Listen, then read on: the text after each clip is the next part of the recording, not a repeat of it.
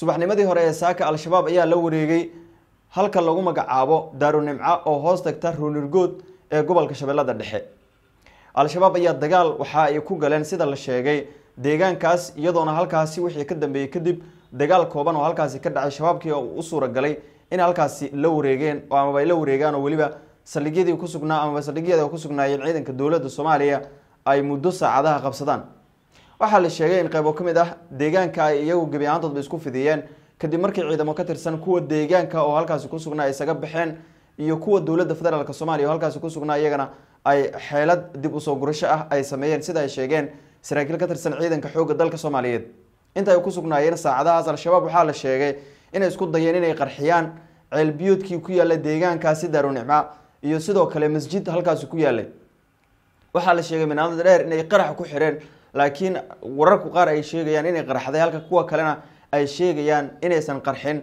Waxaa sidoo kale la sheegay in la badbaadiyey ceelbiyoodkii ku yaalay deegaankaas oo ay al-shabaab la sheegay inay isku dayeen inay qarxiyaan.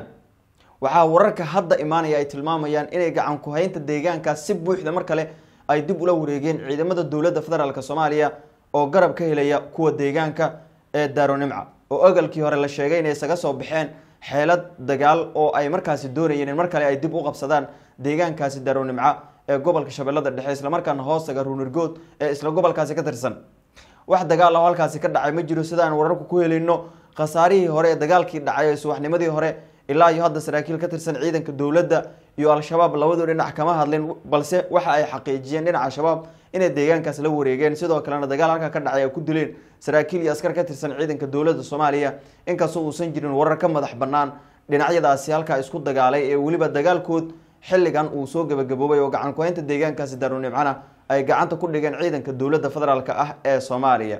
Deegaankan waxa uu ka mid ahaa degmooyin iyo deegaano dhowr ah oo ka tirsan gobolka shabeellada dhexe oo al-shabaab laga saaray.